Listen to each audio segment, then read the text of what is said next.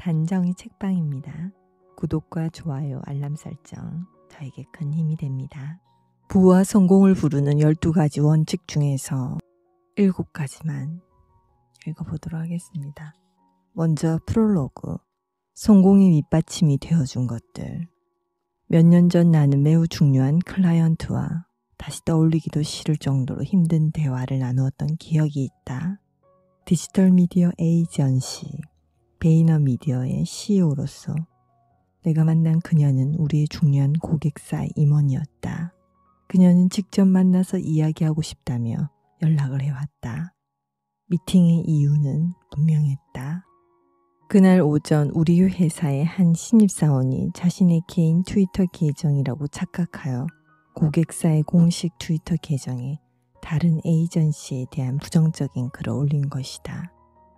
마치 그 회사가 다른 에이전시 실력을 비하하는 듯한 발언을 공개적으로 한 것처럼 보였다. 미팅은 몇 분 만에 끝났다.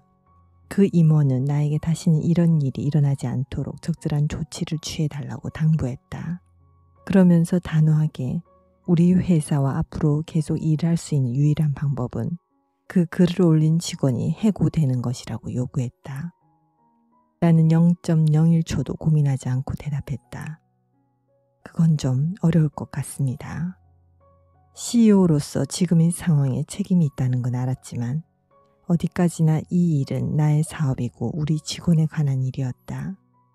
아무리 중요한 고객이라지만 타사 임원의 말 한마디에 내 직원을 해고할 수는 없었다. 물론 그녀에겐 우리와의 거래를 중단시킬 수 있는 힘이 있었지만 어쩔 수 없는 일이었다. 나의 거절에 그녀는 놀라움을 숨기지 않았다.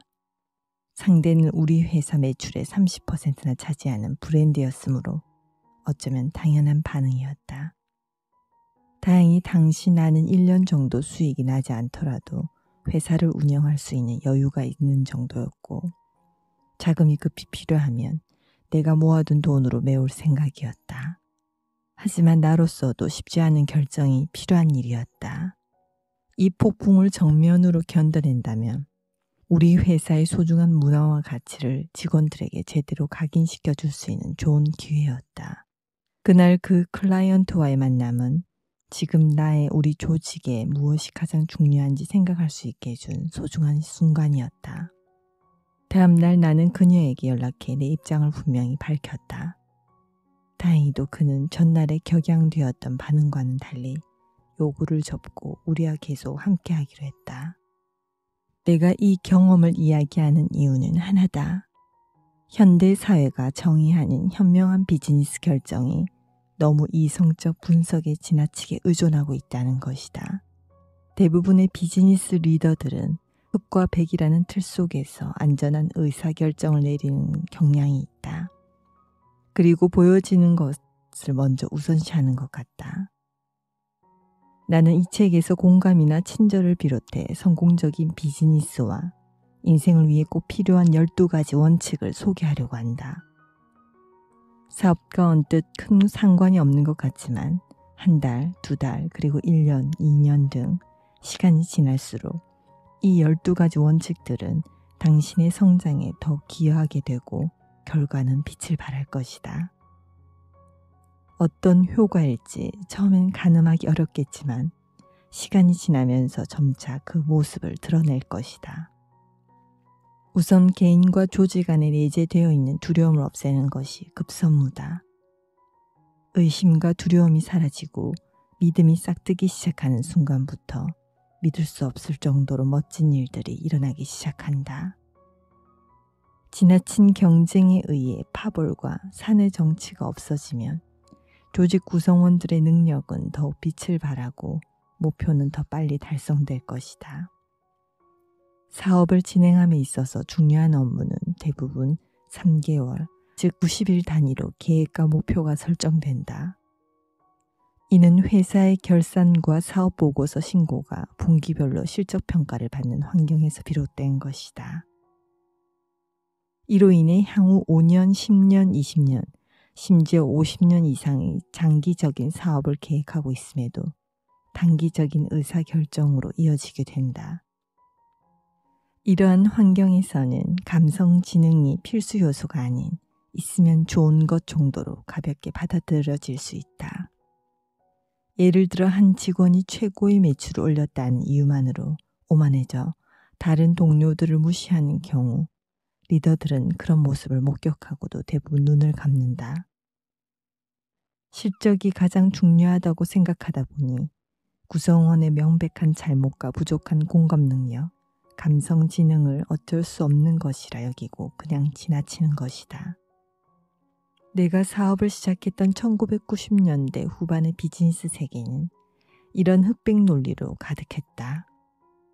당시에는 감성적인 능력인 soft skill이 사업에 크게 도움이 되지 않는다고 생각했다. 주로 비즈니스 사회에서 이런 특징들이 강조되는 것을 나는 한 번도 들은 기억이 없다. 비즈니스는 강자만이 살아남는 피도 눈물도 없는 세계로 보였다. 아이러니하게도 나 또한 강한 자들이 살아남는다고 믿고 있다. 하지만 한편으로 나는 인간성이 성공의 큰 요소라고 생각한다. 예를 들어 직책이 높더라도 의견이 다르다고 소리 지르지 않고 고압적인 태도를 보이지 않는 누구에게나 웃으며 친절한 사람이 진정한 강자라고 생각한다. 이 책에서 내가 제시하고 있는 부와 성공을 위한 12가지 원칙은 바로 나의 성공의 밑받침이 되어준 것들이다. 내가 사랑하고 존경하는 이들을 관찰하며 배운 감사, 자기 인식, 책임감, 긍정, 공감, 친절함, 끈기, 호기심, 인내심, 확신, 겸손, 그리고 야망이 그것이다. 성과와 결과도 중요하지만 이렇게 중요한 soft skill을 먼저 익혀야 성장이 가능하다고 나는 생각한다. 익히고 난 후 따라와도 충분하다.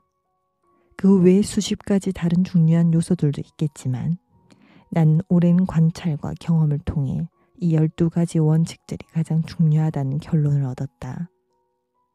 일터는 물론 버스나 지하철 안, 식당 등 우리 삶의 현장에서 직접 관찰하고 경험한 것들이다. 부와 성공을 부르는 12가지 원칙. 친절함, 솔직함, 온전한 나를 만들기 위한 나의 부족한 반쪽, 미리 밝히는 나의 2분의 1, 인내와 야망, 감사와 책임, 공감과 확신. 나는 항상 이런 특징들을 혼합해 균형을 잡으려 노력한다. 이 중에서도 특히 나는 친절함과 솔직함의 균형을 맞추기 위해 최선을 다하고 있다. 평소 나는 함께 일하는 사람들에게 싫은 소리를 하는 게 싫어서 그럴 만한 상황에서도 내색을 하지 않는 편이다. 그런데 어느 날부턴가 이상한 기류가 형성되는 걸 느꼈다. 직원들이 실수를 하고도 너무 당당한 모습이 일상이 된 것이다. 어디서부터 무엇이 잘못되었을까? 오랜 고민 끝에 나는 결론을 얻을 수 있었다. 공동의 목표 아래 함께 일하는 사람에게 배려가 능사는 아닌데 이른바 친절한 솔직함이 내게 너무 부족했던 것이다. 업무를 처리함에 있어 리더가 정확한 피드백 없이 잘했다고 긍정만 주면 직원들은 자신이 실제보다 더 능력이 있다고 착각에 빠지게 시작되고 그 착각은 이상한 자부심으로 이어졌다. 업무의 효율성을 위해서도 함께 일하는 사람들을 생각해서라도 그런 부분은 빨리 찾아내 잘못된 점을 바로 잡아야 했는데 어느 순간부터 나는 업무상 꼭 필요한 비판적인 피드백도 외면하고 있었다. 나의 그런 태도는 직원들의 오해를 불러일으키기에 충분했다. 대표가 솔직하게 말해주지도 않고 무슨 생각을 하는지 도무지 알 수가 없어 일할 때 힘들었다는 사람도 여럿 있었다. 그런 말을 듣고 내 마음이 아픈 건 당연했다. 솔직한 태도로 직원들에게 충분한 피드백을 주지 않는 건 명백한 나의 실수였다. 친절함과 솔직함을 제대로 이해하지 못하고 혼동해서 사용했던 결과임을 자인한다. 돌이켜 보면 나는 오랫동안 솔직함의 중요성을 깨닫지 못했다. 있는 그대로의 솔직함이야말로 최고의 친절이다. 만약 이때까지 만난 사람들이 나에게 좀 더 솔직했다면 나는 지금 훨씬 나은 상황에 처해 있거나 더 좋은 사람이 되어 있었지 않을까? 아쉽고 안타까운 일들이 여러 생각난다. 부와 성공을 부르는 12가지 원칙 1. 감사 고마움을 느끼는 친절에 대한 고마움을 표하고 보답할 준비가 되어 있는 상태 만약 성공과 행복으로 지구상 모든 사람들의 순위를 매긴다면 당신은 77억 인구 중 몇 등이라고 생각하는가? 순위를 적어보자. 77억 명 중 몇 등? 물을 마시고 싶을 때 언제든 마실 수 있는가? 세계보건기구에 따르면 전 세계적으로 약 7억 8천5백만 명의 사람들이 아무리 목이 말라도 기본적인 식수조차 얻지 못하고 있다고 한다. 이는 세계 인구의 10%를 넘는 수치다. 매일 먹을 충분한 식량이 있는가? 2018년 전 세계에서 8억 2천만 명이 영양 실조에 걸린 것으로 기록됐다. 당신의 직업이 싫으면 이직할 수 있는가? 세계 노예 지수에 따르면 2026년 기준으로 전 세계 167개국에서 4,030만 명의 인구가 현대판 노예로 살고 있었다. 그들은 그 끔찍한 일을 그만둘 수 있는 선택권조차 없었다. 집에 제대로 된 화장실이 있는가? 전 세계 인구의 약 60%인 45억 명은 제대로 된 화장실도 없이 살아가고 있다. 집에서 초고속 인터넷 접속이 가능한가? 지구상의 약 30억 명은 인터넷 접속을 못하고 있다. 심지어 미국에서도 2100만 명은 인터넷 연결선이 없다. 소득에 대한 이야기는 아직 시작도 안 했다. CNN의 다보스 2017년 글로벌 임금 계산기에 따르면 전 세계 사람들의 연간 평균 임금은 약 2,300만 원이다. 인도는 약 180만 원, 브라질은 연 약 530만 원, 러시아는 연 600만 원, 아프리카의 밀라위는 연 약 130만 원 채 안 된다. 나는 평소 세상을 바라보는 나의 관점과 감사한 마음의 삶의 동기부여를 얻는다. 옛 소련 벨라루스에서 태어났기에 그곳에서 계속 살았다면 내 인생이 얼마나 더 나빠졌을지 누구보다 다 잘 안다. 나는 내가 태어나기 전 벌어진 한 사건이 없었다면 미국에 오지 못했을 것이다. 1970년 러시아인 16명이 비밀리에 소형 비행기 납치 음모를 꾸몄다. 그들은 결혼식에 가는 척 소련을 탈출해 스웨덴에 비행기를 착륙시킬 계획이었다. 그들의 최종 목적지는 이스라엘. 하지만 계획은 실패했고 그들은 반역죄로 체포되어 수감되었다. 이 사건으로 인해 냉전 체제에 있던 소련의 인권 문제에 전 세계가 주목했다. 미국 언론은 이 사건을 대대적으로 보도했고 당시 정치 지형에 큰 영향을 미쳤다. 세상 사람들의 관심이 쏠리고 인권에 관해 압력이 높아지면서 소련은 각종 규제를 완화할 수밖에 없었고 이 틈을 타 우리 가족을 포함한 많은 유대인들이 소련을 빠져나올 수 있었다. 나는 오래전 16인의 그 러시아인들이 나의 인생을 바꿨다고 믿는다. 행운이란 참 흥미로운 단어다. 나는 내 성공의 대부분이 운보다는 끈기, 야망, 그리고 다른 감정적인 요인들에 의해 기인했다고 생각하지만 어린 나이에 소련을 탈출할 수 있었던 건 행운에 가까울 것이다. 자본주의 세상답게 사람들은 부를 성공의 척도로 삼고 백만장자를 꿈꾼다. 아이들도 청년들까지 서른 살이 되기 전에 성공을 꿈꾸고 있다. 이런 친구들이 대도시의 아파트나 저택에서 온갖 문화와 문명을 누리며 살면서 아프리카 여성들이 물을 구하기 위해 하루 2억 시간을 쓰고 있다는 사실을 이해하기란 불가능에 가까울 것이다.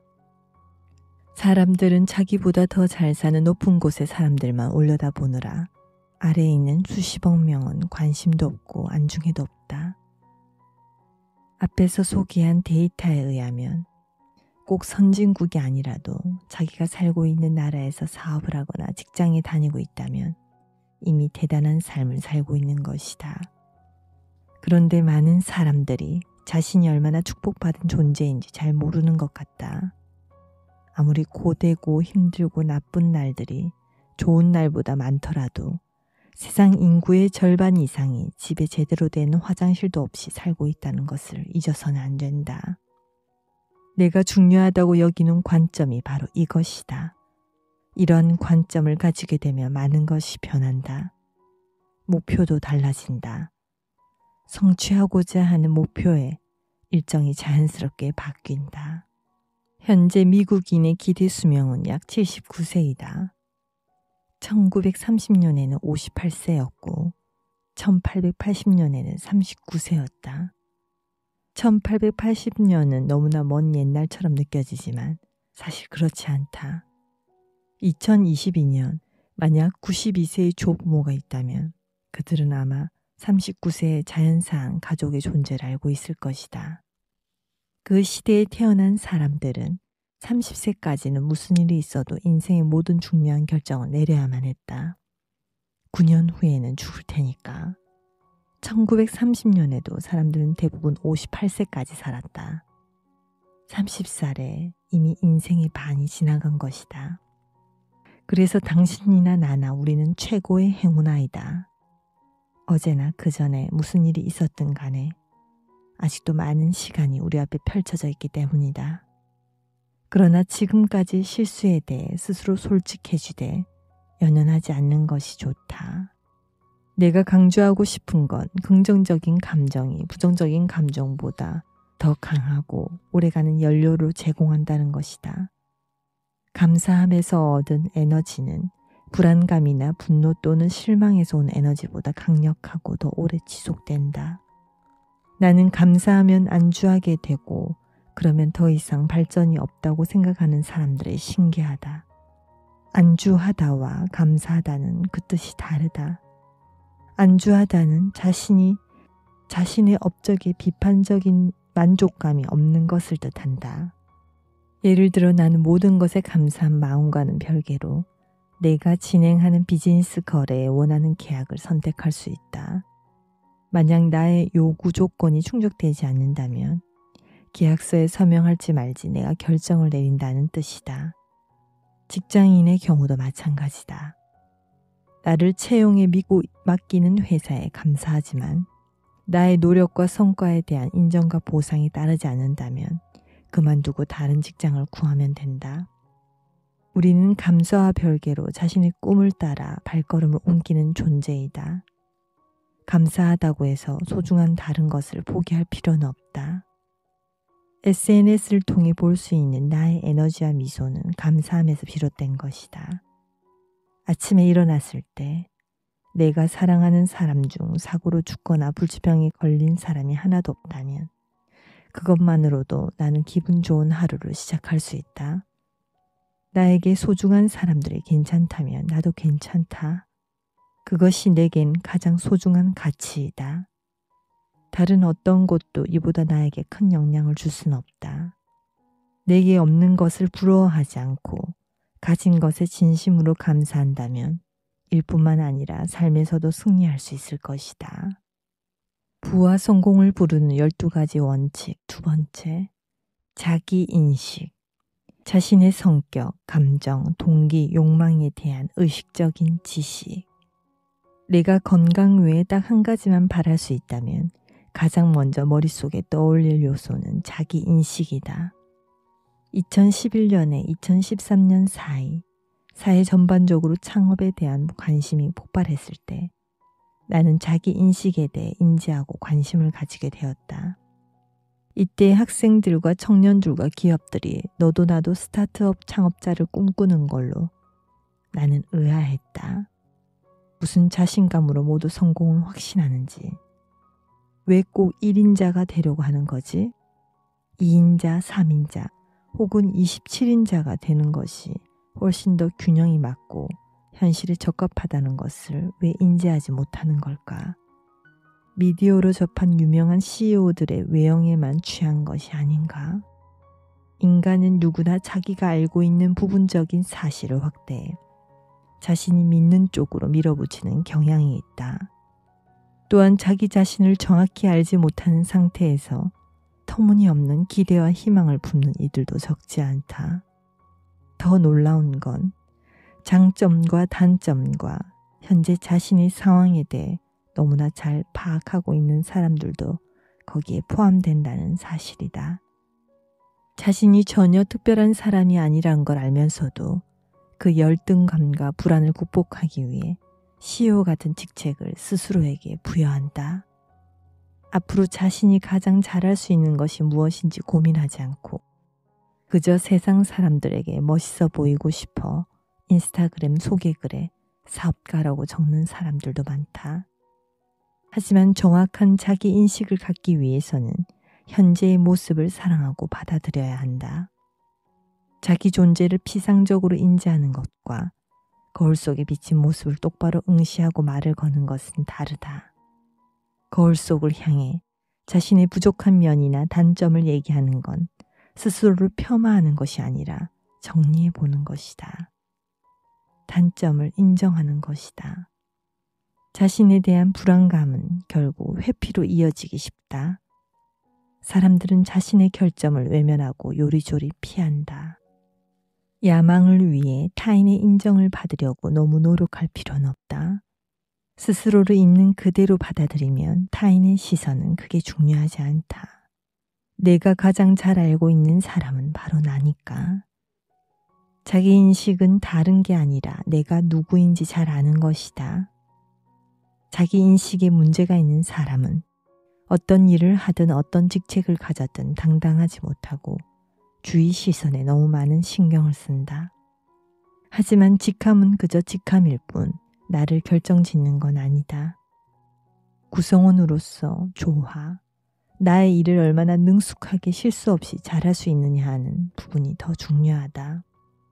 자신의 일에 집중하지 못하고 엉뚱한 일에 정신이 팔린 사람의 실적이나 성과가 높을 리 만무하기 때문이다.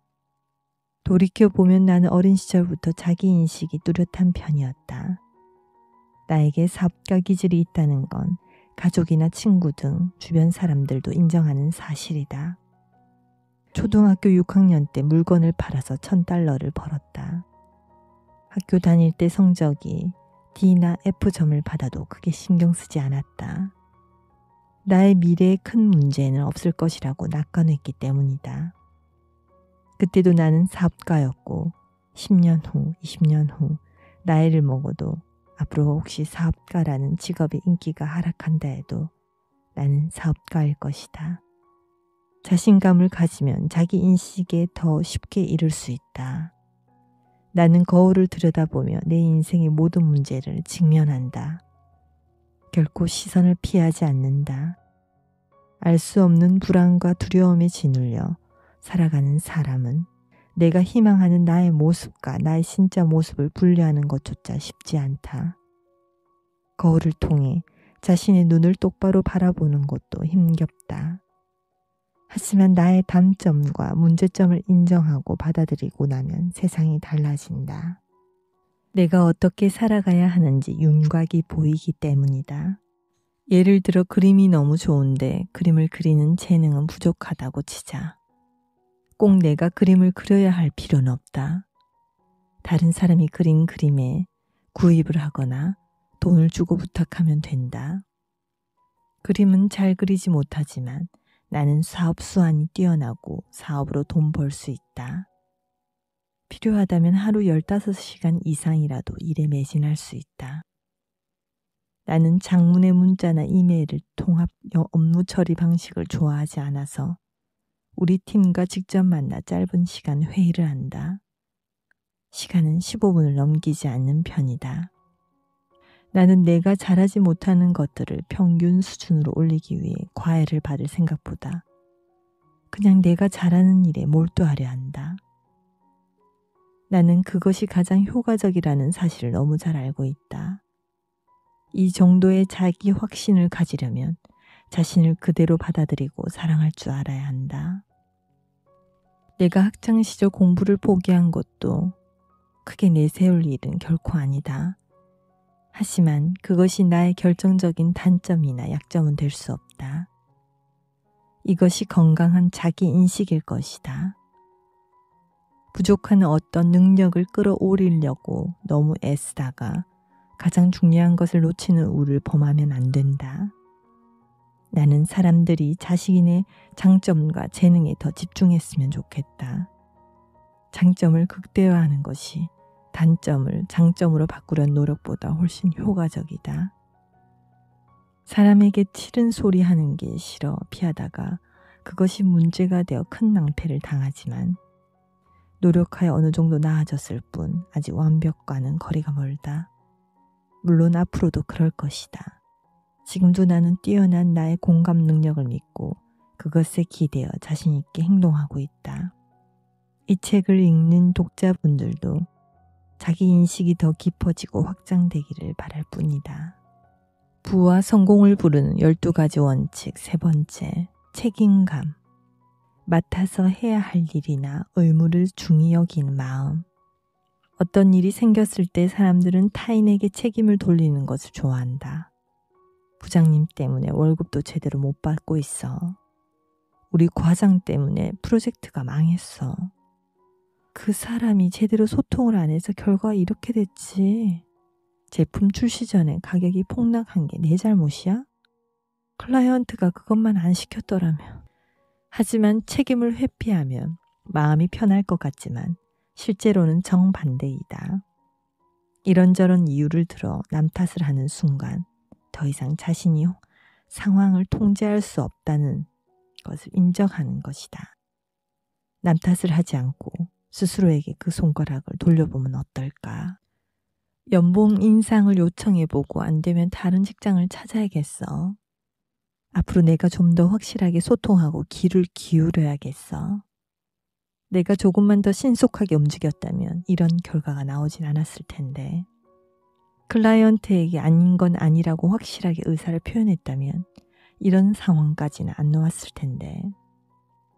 나는 책임감을 브레이크라고 생각한다. 무슨 말인가? 즉, 다른 사람을 탓하는 데서 발생하는 고통을 멈추는 브레이크인 것이다. 사업 파트너가 나를 속였다고 불평만 하고 있다가는 일이 더 꼬이고 해결의 실마리는 풀리지 않는다. 그런데 나의 책임도 있다고 태도를 전환하면 파국을 향해 달려가던 바퀴가 멈춘다. 바로 책임감이라는 브레이크다. 두 사람이 서로 옳다고 언쟁하다가 그 중 한 사람이 자신의 잘못도 있다고 인정하면 그 순간 전체 대화의 흐름이 바뀌는 것을 목격할 수 있다. 그 어떤 어려운 상황에 처해 있더라도 피하거나 도망가서는 안 된다. 내가 나를 그런 상황에 처하게 만드는 것이다. 잘못된 결과가 전부 내 탓이라고 생각하면 억울한 점도 있겠지만 마음은 한결 편안해진다. 그런 마음가짐으로 문제 해결에 임하면 도리어 우위에 설 수 있다. 책임감을 가진 사람이 더 큰 힘을 갖게 되는 것이다. 내가 문제를 만들었다면 그 문제를 고칠 수 있는 힘 또한 나에게 있다. 물론 나와는 전혀 상관없는 일인데 나에게 책임이 있다고 나설 필요는 없다.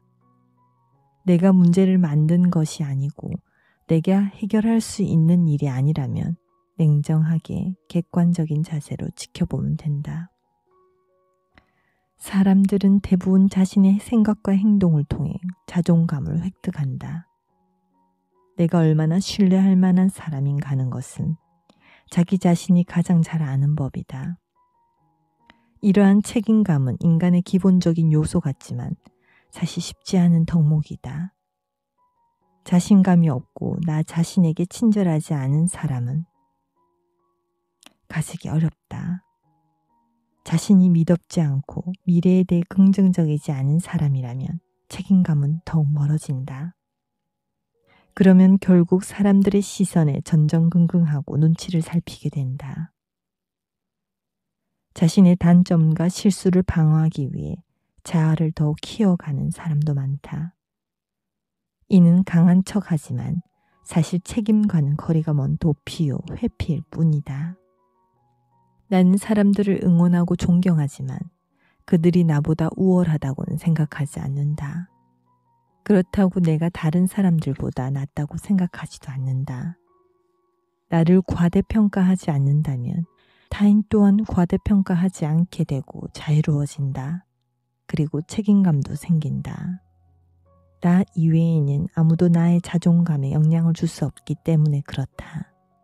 책임을 회피하면 눈앞에 몇몇 사람은 속일 수 있을지 모르지만 모두를 속일 수는 없다. 특히 책임감이 높고 EQ, 감성 지능이 높은 사람들은 아주 민감하고 감각이 발달해 있다. 그들은 그 특성으로 성공한 부류에 많이 포진해 있다. 그들에게는 당신이 책임을 떠넘기는 모습이 명백하게 보인다. 미덥지 못한 사람이 되면 그들과 어깨를 나란히 하고 좀 더 멋있어질 수 있는 기회가 없다. 당신은 과연 어떤 사람들과 함께하는 삶을 선택하고 싶은가?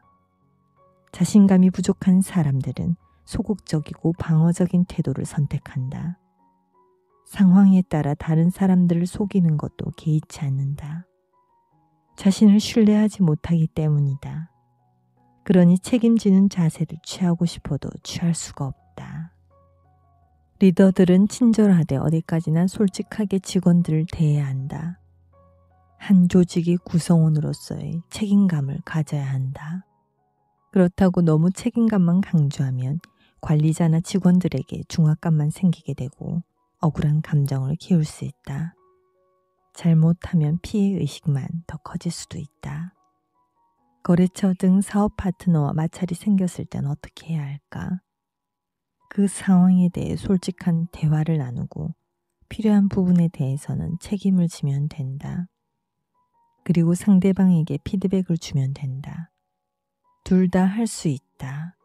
금전적인 손실이 클 경우 문제는 쉽지 않겠지만 그럴 때일수록 더욱 솔직한 자세로 임하면 해결하지 못할 일은 없다고 믿는다.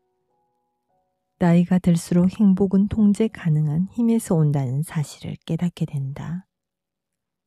사업이나 금전적인 부분도 중요하지만 지치지 않고 내 삶을 끌어가는 힘이 내가 가장 주목하는 것이다.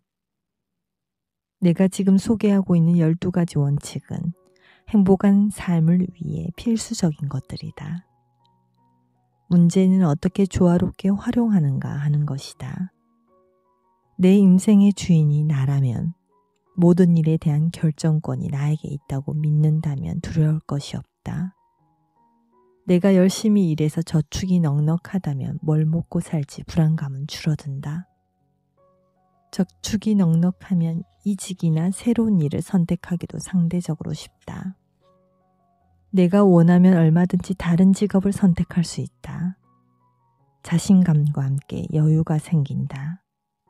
인생에 아직 많은 기회가 남아있고 선택권이 있는 사람만 누릴 수 있는 자유가 아닐까.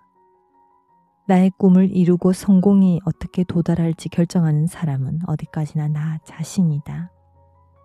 우리가 살면서 경험하는 불안과 공포는 무력감에서 비롯될 때가 많다. 살면서 내가 할 수 있는 일이 별로 없다. 이 말은 책임감은 그 무력감과 불안을 없앨 수 있는 가장 강력한 요소다.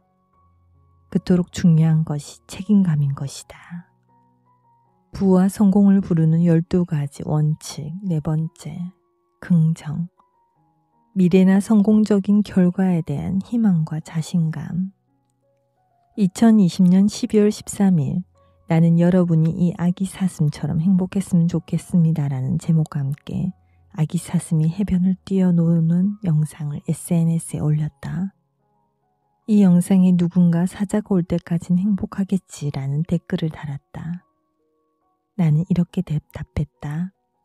아기 사슴은 똑똑하니까 그 사자를 피하겠지. 사람들은 사자를 너무 무서워해. 그래서 사자를 피할 수 있다는 생각도 잘 못해. 하지만 사자 따위는 신경 쓰지 마. 놀랍게도 아기 사슴 사진에 댓글을 남긴 이를 포함해 많은 사람들이 긍정은 실망과 상실이 필연적으로 이어지는 함정일 뿐이라고 생각하는 것 같다. 또 인생에 두려움이 많거나 상처를 많이 받은 사람은 자신의 경험에 의거해 긍정을 부정으로부터 가져온다. 긍정적이었다가 또다시 실패를 맛보고 상처받고 싶지 않기 때문이다. 그들은 긍정을 아무것도 모르는 순진한 것이라고 비웃는다. 다시 한번 이 글의 앞쪽에 적혀 있는 긍정의 뜻을 음미해 보자. 긍정은 미래나 성공적인 결과에 대한 희망과 자신감을 이야기한다. 긍정과는 대조적으로 망상이라는 뜻을 가지고 있다. 망상은 이성적으로 생각하기에 받아들이기엔 무리가 있고 모순됨에도 불구하고 옳다고 밀어붙이는 잘못된 판단이나 확신이다. 망상이 심하면 정신장애가 된다. 긍정의 반대는 부정이다. 부정은 이런 뜻을 가지고 있다. 어떤 일이나 상황의 최악의 면만 보거나 최악의 일이 일어날 것이라고 믿는 경향. 미래에 대한 희망이나 자신감의 부족을 말한다. 읽기만 해도 어둡고 우울하다. 자신의 미래에 대한 희망과 확신을 가지면 원하는 결과에 도달할 가능성이 훨씬 높다. 부정적인 결과로 인도하는 세상의 수많은 가지 변수보다 믿음과 희망은 성공으로 이끄는 든든한 견인차가 된다. 바로 긍정의 힘이다. 우리가 모르는 위험 요소가 너무나 많아 실제함에도 불구하고 끝까지 긍정을 잃지 않는 데에는 다 이유가 있는 법이다. 긍정이 무조건 순진함을 의미하는 것은 아니다. 세상 물정이 어두워 어수룩한 상태는 더더욱 아니다.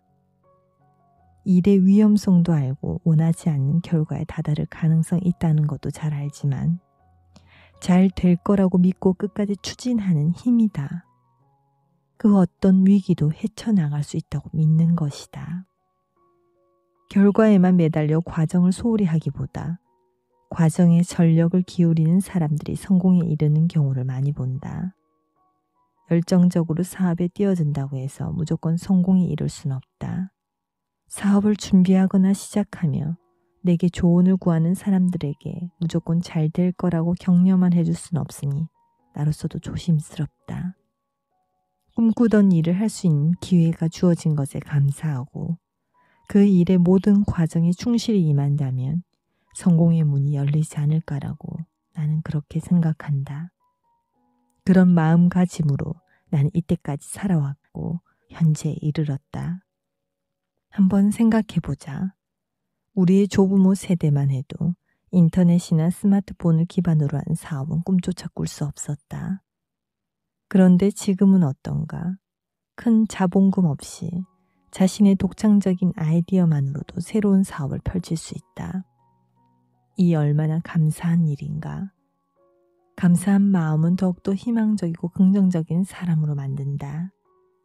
긍정은 홈런을 칠 수 있다는 보장이 없다는 것을 인정하면서도 다음 기회가 있음에 기뻐하는 것이다. 뜻을 이해하는데 그렇게 사는 게 쉽지 않다면 자기 자신에 대해 제대로 알아보는 시간이 필요하다. 살면서 내 뜻대로 일이 풀리지 않을 때 당신은 어떤 태도를 보이는가? 애꿎은 남을 탓하며 분노를 터뜨리는 유형이나 자존심을 최후의 방어막으로 사용하는 경우도 있다. 끊임없이 자책하며 동굴 속으로 숨는 유형은 아닌지 타인의 시선이나 생각에 너무 휘둘린다면 무엇보다 낮은 자존감에 스스로 주목해야 할 것이다. 이때 자신을 믿는 마음을 회복하면 긍정은 자연스럽게 내 것이 된다. 나를 변화시키려면 밝고 긍정적인 사람과 함께하는 것이 가장 좋은 방법이다. 나를 우울하게 하고 정신적으로 끌어내리는 사람들과 접촉은 가급적 줄이는 것이 좋다. 평소 좋아하는 팟캐스트와 영상들을 통해 긍정적인 에너지로 스스로를 채워보자. 나에게 긍정은 목적지를 보여주는 지도와 같다. 그래서 나는 결과보다 과정을 더 중요하게 생각한다. 긍정은 부정보다 그 과정을 더 즐겁게 만들어준다. 내가 이루고 싶은 목표나 꿈에 대한 희망과 자신감이 충만하면 매일 아침에 일어나는 것이 즐겁다. 게임에서 이기는 것보다 게임을 하는 것이 더 재미있다. 나는 긍정과 끈기가 뗄래야 뗄 수 없는 관계라고 믿는다. 만약 목표를 이룰 것이라는 낙관과 기대가 없다면 어떻게 끈기를 가질 수 있겠는가? 어떻게 필요한 노력을 기울일 수 있겠는가? 그리고 성공이 이른 뒤 어떻게 그 성공을 지속할 수 있겠는가? 만약 산을 오르고 있는데 왠지 정상에 오르지 못할 것 같다는 생각에 다리가 힘이 빠지는 경우가 있다. 계속 내디는 발걸음이 무거울 것이다. 그런 상태로 과연 정상에 오를 수 있을까? 하지만 정상에 오를 수 있다는 사실을 믿어 의심치 않는다면 끝까지 발걸음을 옮길 것이다. 다른 사람들이 어떻게 생각하든 상관없이 그 과정을 즐길 것이다. 물론 스타워즈의 다스 베이더처럼 부정적인 생각을 집요하게 갖고도 목표를 이루는 경우가 드물게는 있다. 그러나 그것은 흔치 않는 일이다. 결코 지속 가능하지도 않다. 자신을 믿고 끈기 있게 앞으로 나아간다면 오르지 못할 산은 없다고 믿는다. 부와 성공을 부르는 12가지 원칙 다섯 번째, 공감. 다른 사람의 감정을 이해하고 공유하는 능력. 공감이라는 단어는 언제 들어도 좋다. 다른 무엇보다 공감 능력 덕분에 지금의 내가 존재하는 것이라 생각한다. 사업은 물론 나의 삶을 이끌어준 가장 중요한 감성 요소는 공감이다. 공감은 내가 세상의 이야기를 듣는 방법이기도 하다. 페이스북과 트위터의 초창기, 내가 이 두 회사에 나의 돈을 모두 투자한 이유도 이 회사들이 세상과 소통하는 공감을 비전을 가지고 있었기 때문이다. 또 그것이 지금 내가 NFT의 가능성에 대한 자신감을 갖는 이유도 이와 같다. 1990년대 처음 인터넷을 접하면서 나는 앞으로 놀라운 세상이 펼쳐질 걸 감지했다. 많은 사람들이 컴퓨터와 인터넷을 그저 신기하게만 바라보고 있을 때 나는 새로운 세상이 도래할 것이고 내 삶과 밀접하게 연결될 것이라고 예감했다. 향후 몇십 년 동안 그리고 앞으로도 계속 새로운 것이 나올 것이다. 물론 이를 대수롭지 않게 생각하는 사람도 있겠지만 나처럼 전폭적인 관심을 기울이는 사람도 있을 것이라 확실한다. 뒤에 호기심 부분에서 다시 이야기하겠지만 공감 능력은 호기심과 자연스럽게 짝을 이룬다. 못 말리는 나의 호기심은 나를 NFT에 공부하게 이끌었고 뛰어난 공감 능력에 의해 그것의 중요성을 간파했다. 미래 우리 삶의 큰 부분을 차지할 것이라는 확신을 가지게 된 것이다. 일종의 직관인 셈이다. 내가 지금 NFT를 바라보며 받는 느낌은 2005년 초기 웹 2.0을 바라보며 받았던 느낌과 유사하다. 그렇다고 해서 이를 통해 만나는 사람들에게만 관심이 있는 것도 아니다. 나는 내 옆을 스쳐 지나가는 일반 대중과도 공감한다. 가족과 지인과 일터에서 만나는 사람들과 이 책을 읽는 독자 혹은 SNS로 만나는 이들과의 교류도 마찬가지다. 공감이 기본이다. 특히 SNS에서 만난 나를 팔로우하는 사람들과 많은 이야기를 나누는데 독특한 시각과 다양하게 사는 모습에서 느낀 바가 많았다. 소통이 먼저인지 공감이 먼저인지는 잘 모르겠지만 둘은 밀접한 관련이 있는 게 분명하다. 나의 SNS나 컨텐츠에 악플을 남기는 사람들도 많다. 나는 그 악플에 직접 댓글을 달기도 한다. 항의의 자원이 아니다. 누군가 내 계정에 자신의 방식으로 콘텐츠를 소비한 후 엉터리라 하거나 형편없다는 댓글을 남기면 물론 기분이 좋진 않다. 그런데 다른 사람의 의견에 그렇게 기분 상할 필요는 없다. 지나가는 사람이 던진 한마디에 그렇게 크게 영향을 받는다면 무서워서 어떻게 살 수 있겠는가? 나는 이렇게 생각한다. 댓글은 댓글일 뿐이다. 그 사람은 일이 잘 안 풀리거나 컨디션이 나빠서 아무에게나 짜증을 내고 있는지도 모른다. 누군가 내 콘텐츠에 게리, 마치 당신이 대단한 사람인 것처럼 착각 좀 하지 마 라고 댓글을 남긴 적이 있다. 나는 그 반말 댓글에 이렇게 썼다. 우리 엄마는 그렇게 말씀 안 하시는데요. 그리고 그의 계정을 쭉 살펴본 후에 한마디 더 남겼다. 사진 정말 잘 찍으시네요. 공감은 강할수록 더 많은 것을 가질 수 있는 능력이라 생각한다. 내가 정말 강한지는 잘 모르겠지만 나는 사람들의 악플에 크게 개의치 않는다. 그리고 대부분 미소도 잘 건넨다.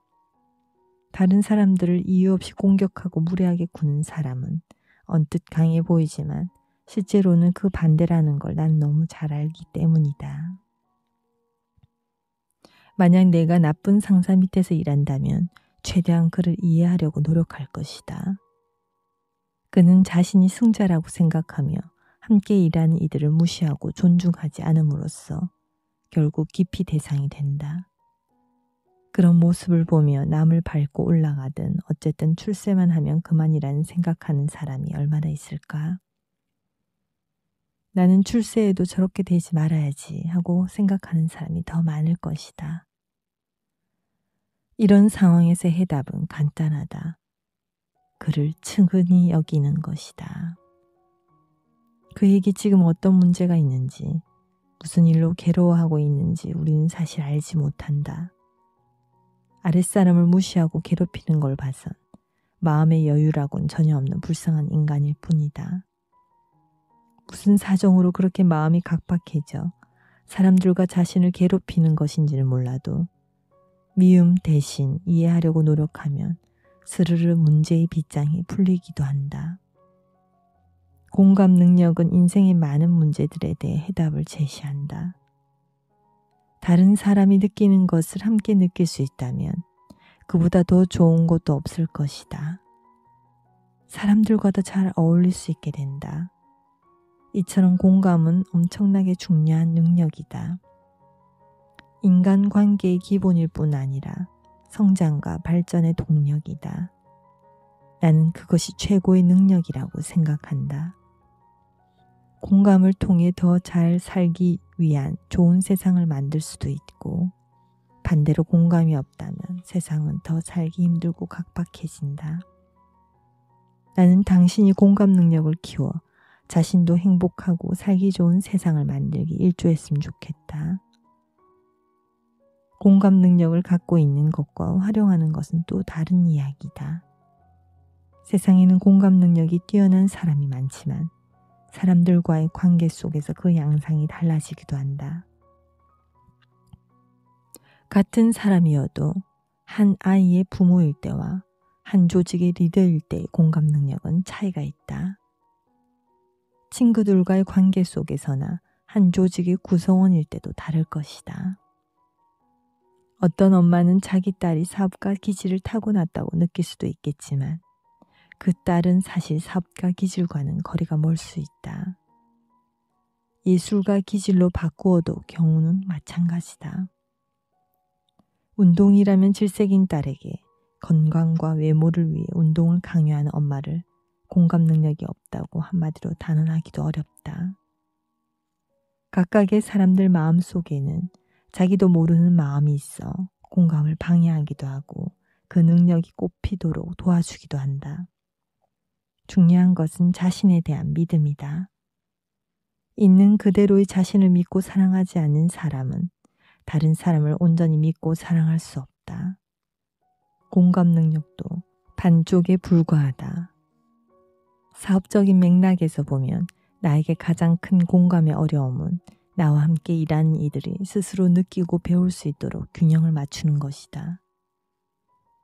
얼마 전 우리 팀 직원 둘 사이에 꽤 큰 갈등이 있었다. 나는 스토리와 상황을 모두 알고 있었지만 내가 개입해야 하는지, 개입한다면 어느 선까지 할 것인지를 두고 망설였다. 가장 좋은 건 두 사람이 대화를 통해 스스로 해결하는 것이다. 주변 사람들이 돕겠다고 나섰다가 오히려 문제가 더 커질 수도 있을 테니 말이다. 다행히 그런 상황까지 치닫지 않고 문제는 잘 해결되었다. 만약 그 두 사람의 공감 능력에 문제가 있었다면 더 많은 시간을 끌었을 것이다. 두 직원에 대한 믿음이 있어 섣불리 개입해 진화에 나서지 않은 것도 옳은 선택이었다. 상사나 주변의 간섭이나 개입 없이 직원들이 스스로 갈등이나 문제를 해결할 수 있도록 두면 좋겠지만 때론 그것이 어려울 때도 있다. 나중에는 가만히 지켜본 것이 무책임한 태도로 비난받을 수도 있다. 그 시점과 범위를 아는 것도 넓은 의미의 공감 능력이 되지 않을까. 그래서 나는 오늘도 끊임없이 고민한다. 업무와 관련해 직원들에게 어떤 언제 어떻게 적절한 피드백을 주어야 할지 문제가 발생했을 땐 또 어떻게 해야 할지 공감 능력은 일과 삶에서 치트키와 같다. 이것이 핵심이다. 다른 요소들도 중요하지만 공감 능력과 결합되어 활용되면 무적이 될 수 있다. 타인의 감정을 잘 이해하고 느낄 수 있다면 어떤 상황이 와도 무서울 게 없는 것이다. 부와 성공을 부르는 12가지 원칙 여섯 번째, 친절함. 다정하고 너그럽고 사려 깊은 사람의 자질. 아버지의 사업체인 와인 라이브러리에 근무할 때의 일이다. 너무나 친하게 지내던 직원이 25만 달러 상당의 와인을 훔친 사실이 들통났다. 당신이 나라면 어떻게 행동했을까? 사람들은 보통 자신을 믿고 잘해주는 사람들에게 친절한 걸 당연하게 생각하지만 나는 나를 힘들게 하는 사람에게도 친절해야 한다고 생각한다. 그건 생각에만 그치지 않는다. 나에게 무례하기 짝이 없던 동료나 또 사람과 관련해 내 뒤통수를 크게 치고 사라졌다가 2년 후에 아무 일 없었다는 듯이 나타난 사람에게도 나는 친절했다. 성실하고 능력이 뛰어난 사람을 친절하게 대하기는 식은 죽 먹기다. 하지만 그 반대의 사람을 친절하게 대하는 건 쉬운 일이 아니다. 더구나 내가 앞이 보이지 않을 정도로 힘든 상황이라면 어쩌겠는가. 힘들 때 화를 내고 나에게 해를 끼친 사람을 멀리 하는 건 자연스러운 현상이지만 그것을 뛰어넘고 싶은 사람들도 있다. 나도 그런 사람 중 한 명이다. 보통은 나도 사람들의 친절함에 의지한다. 다정하고 친절한 사람들이 좋고 나도 친절한 사람이 되고 싶다. 하지만 친절함이 전부가 아니라는 사실을 너무나 잘 알고 있다. 나는 평소 카메라 앞에 꽤나 솔직하고 직설적으로 말하는 편인데 그런 내 모습을 접한 사람들의 의문을 품기도 한다. 친절함과 거리가 있어 보이는 사람이 왜 이렇게 친절을 강조하는가라고 말이다. 물론 그들이 단적으로 판단한 내 모습에 대해서는 나도 뭐라 말할 말이 없다. 우리는 나 아닌 다른 사람을 완벽히 알 수 없다. 가족도 마찬가지다. 아무리 친한 친구라 해도 그가 지금 어떤 상황에 있는지, 어떤 마음으로 살아가는지 전부 알 수 없다. 우리가 아는 건 내 눈에 비친 단편적인 모습이다. 그가 어떤 삶의 과정을 통해 지금에 이르렀는지 어떻게 알겠는가? 그러니 짐작 정도를 가지고 함부로 예단하고 판단할 수 없다. 이쯤에서 발상을 전환해보자. 다른 사람이 나를 판단하는 것 역시 상대의 관점에서 단적으로 본 나의 모습이다. 자기 마음대로 생각하는 나인 것이다. 그런데 나는 왜 눈치를 보며 아무것도 모르는 남의 판단에 이토록 휘둘리는 것일까? 굳이 그럴 필요가 없지 않을까? 앞에 이야기로 돌아가서 나와 친하게 지냈던 한 직원이 어마어마한 양의 와인을 훔쳤다는 사실을 알게 되었을 때 나는 망치로 크게 한 대 맞은 느낌이었다. 아버지는 분명 내가 들어오면서 바뀐 일터의 분위기, 즉 직원들과의 과도한 친분 때문에 이런 일이 발생했다고 나를 원망할 것이라 생각했다. 나는 바로 방어 모드로 들어갔다. 아버지에게 예전에도 이런 사건이 있었다는 점을 상기시켰다. 내가 오기 전에도 비슷한 일이 있었다고 들었던 것이다. 그보다 나는 그가 왜 그랬는지가 더 궁금했다. 그는 지금 괜찮은가? 왜 그랬을까? 내가 모르는 무슨 일 있었던 걸까? 알고 보니 그 직원은 거의 최악의 상황에 처해 있었다. 이런저런 힘든 일이 많았고 그걸 잊으려다 보니 자기도 모르는 새 약물에 중독되어 있었다. 약을 구하기 위해서는 돈이 필요했다. 나는 그를 향한 연민과 함께 한편으로는 감사함과 죄책감을 느꼈다. 나는 그에 비하면 부모님 덕분에 경제적으로도 그렇고 평탄하게 살아온 편이었다. 그러니 약물에 중독될 일도 남의 물건을 훔칠 일도 없었다. 그런데 어떻게 내가 곤란하게 처한 그 사람을 무조건 외면하고 비난할 수 있겠는가? 물론 나의 이유와는 별도로 그는 당연히 자신이 저지른 범죄에 대한 대가를 치러야 한다. 그것이 순리이니까. 어떠한 불리한 상황에서라도 솔직함과 함께 친절한 자세를 잃지 않는다면 꼬인 문제가 풀리고 해결이 될 확률이 높다. 설령 라이벌 관계에 있는 사람이라도 한결같이 친절한 자세로 나오는 상대에게 적대적인 태도를 취하기는 어려운 법이다. 친절함을 보이면 상대방도 마음을 열게 되는 것이다. 상대에게 안 좋은 소식을 전하거나 곤혹스러운 대화를 나눠야 할 때일수록 친절함이란 이 요소를 잊지 말아야 한다. 그런데 꼭 기억해야 할 일이 있다. 너무 공감한 나머지 친절을 계속 베풀기만 하다 보면 생각지도 못한 상황에 처할 수 있다는 사실이다. 일의 처리가 엄중한 상황에서는 솔직한 태도로 임해야 하는데 너무 친절하게만 접근하게 되면 오해가 생길 수 있다. 이로 인해 결과가 잘못되면 모든 화살이 나에게 돌아올 수도 있다. 자신을 속였다고 누군가로부터 원망을 받을 수도 있다. 친절함과 솔직함은 반대되는 개념이 아니다.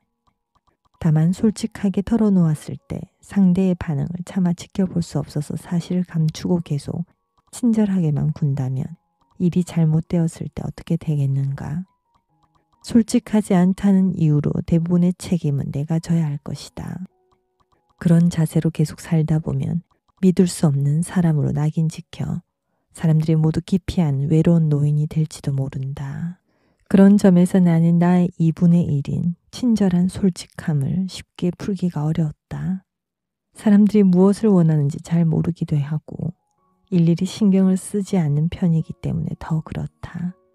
비즈니스 상의 만남에서도 계산기를 두드리지 않고 마음을 먼저 주는 타입이다 보니 종종 문제가 발생했다. 또 나는 누군가가 나를 원망해도 크게 신경 쓰지 않는 편이다. 그를 무시해서가 아니라 심각한 상황이 싫기 때문이다. 이럴 때는 가볍게 받아들이는 것이 하나의 전략이 될 수 있다. 솔직함이라는 단어 앞에 친절함을 더한 이유가 거기에 있다. 예를 들어 나는 환자에게 약을 처방하는 방식도 약의 성분만큼이나 중요하다고 생각한다. 환자들이 선호하는 의사는 의학 지식이나 수술 실력이 뛰어난 의사가 아니라 환자들의 기분을 잘 살피고 편하게 대해주는 의사다. 그런 의사라면 포도맛 젤리를 약이라고 주어도 기분 좋게 받아먹는 것이다. 아픈 주사도 얼마든지 웃으면서 맞을 수 있을 것이다. 웃으며 맞는 주사의 효능이 훨씬 더 뛰어날 것이라고 나는 믿어 의심치 않다. 솔직함을 핑계로 친절함을 버리는 의사가 너무 많아서 하는 말이다. 2000년대 스티브 잡스에 열광하는 청년들이 내 주변에 많았다. 그런데 그를 그토록 닮고 싶어 하고 존경한다면서 자신의 조직에서는 너무나 거칠고 무례한 태도로 사람들 대하는 이들을 여러 명 보았다. 나에게 그 장면은 굉장히 인상적으로 다가왔다. 능력이 뛰어난 사람은 다른 사람들을 그렇게 무례하게 대해도 되는가? 이 시대의 친절함은 어디로 실종되었을까? 그 의문이 이 책을 쓰게 한 원동력이라 해도 과언은 아니다. 그래서 친절함과 함께 지금 내가 열거하는 12가지와 2분의 1의 중요한 요소들을 자세히 살펴보고 싶었다. 다른 사람은 안중에도 없는 듯한 강하고 터프한 행동이 쿨한 것이 아니라 공감과 친절 그리고 감사하는 마음과 태도가 얼마나 멋진지 보여주고 싶었다. 강한 리더가 되는 것이 능사는 아니다. 능력에 따라 효율과 생산성을 무시하는 것도 아니다. 거친 바람이 아니라 따뜻한 햇살의 외투를 벗는 동화 속의 나그네를 생각해보라. 나는 그 무엇보다 친절함이 가장 강한 것이며 끝까지 살아남는 것이라 말하고 싶다. 부와 성공을 부르는 12가지 원칙 일곱 번째 끈기 단단히 결심하는 것 각오 인생을 활기차게 사는 건 중요하지만 너무 앞만 보고 가다 보면 과부하에 걸린다. 참고 견딘다는 의미로 끈기를 해석하면 극심한 피로감과 함께 번아웃 현상에 이르기 쉽다. 오랜 기간 꾹 참고 과장된 활기로 일에 매진하다 보면 모든 것이 소진되는 것도 무리는 아니다. 사람들은 성공하고 싶으면 끈기가 있어야 한다고 말한다. 하지만 그것이 마음의 평화와 행복을 희생시키는 단계까지 이르면 곤란하다. 끈기가 번아웃과 잘못 연결되어서는 안 된다는 말이다. 그런데 현실에서는 이 두 가지가 함께 따라다닌 현실을 가끔 목격한다. 내가 솔직함을 지나치게 단순화시켜 생각했던 것처럼 끈기를 그렇게 바라보는 사람들도 많다. 사람들은 끈기와 번아웃을 비슷하게 보려는 경향이 있는데 이 둘은 확실한 차이가 있다. 번아웃은 과로나 스트레스로 인한 신체적 또는 정신적 붕괴이다. 반면에 끈기는 집요한 노력이다. 내가 평소 야망보다 야망을 성취하는 과정을 즐기라고 강조한 이유도 바로 이 때문이다. 사람들은 자신의 진짜 목표보다 부수적인 것들, 즉 100만 달러와 벤츠, 샤넬 가방, 전용기 따위를 쫓는다. 이 과정에서 사람들은 자신의 본래 목표를 잊고 어느 순간 남들의 시선에 비친 자신의 모습을 너무 많이 의식해 엉뚱한 것을 구하다가 번아웃하는 경험을 한다.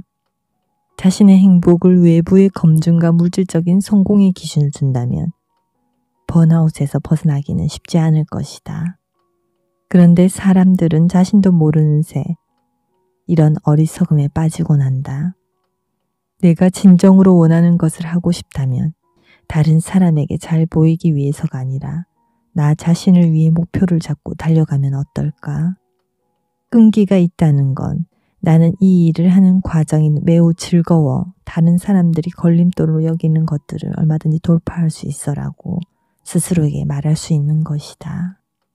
20대 중반 아버지의 와인 가게에서 근무할 때 일이다. 친구나 지인들이 술을 사러 종종 나를 찾아왔다. 의사나 변호사 아니면 월가의 금융인도 있었다. 그들은 비싼 샴페인을 구매했다. 나는 지하 창고에서 샴페인을 가져와 계산하고 그들이 자동차 트렁크에 실어주었다. 그들이 나를 바라보는 시선에는 일말의 동정심과 함께 자부심이 느껴졌다. 그들의 눈에 비친 나는 아버지의 와인 가게에서 일하는 판매원이었다. 그런 시선이 나라고 해서 유쾌할 리 없다. 그런데 내가 그런 순간들을 잘 넘기고 그 상황에서 도리어 강력한 동기부여를 얻는 건 나 스스로에 대한 믿음과 끈기 덕분이었다. 앞에서도 여러 번 말했듯 나는 어려운 상황에서 도리어 빛을 발하는 사람이다. 나는 내가 가진 것들을 멋지게 잘 활용한다. 공감, 친절, 감사함 등이 그것이다. 20대 초반의 난 끈기와 확신을 획득했고 그 뒤에는 공감과 인내심을 추가했다. 손님으로 찾아온 친구 차의 트렁크를 열어 샴페인을 실어주던 내가 무슨 생각을 하며 그 일을 하고 있는지 그들은 몰랐을 것이다. 나는 오로지 아버지에게 감사한 마음으로 10년 동안 사업을 키우는 일에만 집중했다. 목표를 세우고 그 일에만 전념했다. 나는 나의 전략과 인내심을 가지고 가까운 장래와 먼 미래를 내다보았다. 아버지의 와인 가게에서 일하는 그 시간이 전혀 아깝지 않았다. 나는 친구들과 비교해 내가 뒤처져 있다거나 잘못된 길을 가고 있다고 생각하지 않는다. 그들은 내 원대한 꿈을 알지 못했고 나 역시 서운할 것이 없었다. 나는 나의 길을 가면 그만이었다. 그 시기에 나는 내 시간에 대한 확신이 있었다. 나는 22살부터 32살까지 가족을 위해 시간을 저축하고 있다고 생각했다. 지금도 20대 초반이나 중반의 나이에 자신이 무엇을 해야 할지 모르겠다고 내게 DM을 보내는 젊은 친구들이 수만 명이다. 그들에게 이 책에서 말하고 있는 나의 작은 경험들이 참고가 되었으면 좋겠다. 그 시절 나는 매일 15시간 이상 고객들을 상대하면서 나의 실력을 키우는 것이 무엇보다 중요하다고 생각했다. 열심히 와인을 팔면서 소통 능력을 포함해 내게 필요하다고 생각되는 것들을 배워나갔다. 언젠가 내가 다른 일을 하게 될 것이라는 사실도 너무 잘 알고 있었다. 아버지의 사업이 단단하게 안정적으로 구축되면 그 다음은 나의 일을 할 차례였다. 당시 그런 상황을 이해해주는 사람은 별로 없었지만 나는 나 자신을 이해했고 그것이 확실한 나의 동기부여가 되었다. 확신과 끈기는 늘 따라다니며 함께 작용한다. 내가 하는 일에 대한 확신이 있을 때 끈기는 몇 배로 증폭된다.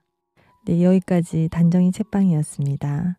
부와 성공을 부르는 12가지 원칙 중에 5가지 더 있고 당신의 인생을 바꿔줄 35가지 조언이 있습니다. 이 조언이 참 다양한 사례들로 제시가 되어 있는데요. 굉장히 공감되고 아주 쉽게 이해되면서 읽어보시면 너무 좋을 것 같습니다. 네, 그럼 다음에 뵙겠습니다.